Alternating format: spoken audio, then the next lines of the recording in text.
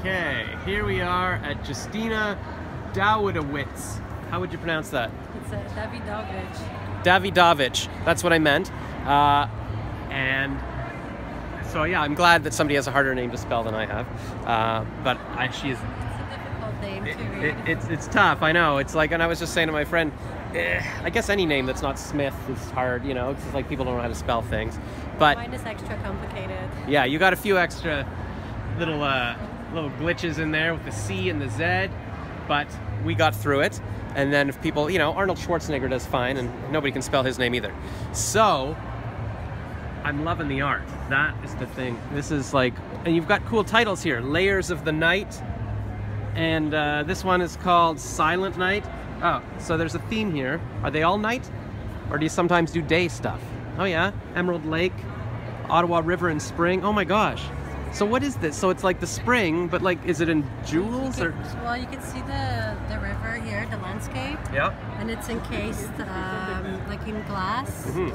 just to give it a sense of preciousness. Oh wow. So it's a drawing of something encased in glass. It's like you're making like a, a statue, but drawing it instead. That is so cool. But the glass is also the, could also be the sky. Oh, that's true. It's kind of the sky encompassing the thing, and this could be the earth, I guess. Yeah, that's like a it's like a strata when you layer the earth. Yeah, yeah. Cool. That's yeah, you're all onto the stratas. It reminds me of my high school geology. Was it would that be geology? I guess. Yeah. Very cool. Oh my gosh. So you're all into jewels and crystals. That would be geology too, I think. Is this that looks like almost like a paper clip of its Emerald Lake. So it's a lake also encompassed. What would just like is that the sun or what is that? Um, it's it's kind of to give it a, to make it look a little bit like uh, jewelry, so it gives it a sense of preciousness. Right, right. Okay. So yeah, it could be a necklace, or yeah, it kind of looks. It's an emerald lake, but it looks like uh, a, like an actual emerald. Oh, I like it. And that looks like a diamond, and that's called stream. Very cool. And then you can get unframed paintings as well. And oh, that's a woman's face, but that looks like her hair. Oh, but it's two people. Oh my gosh, it's so cool. Hmm.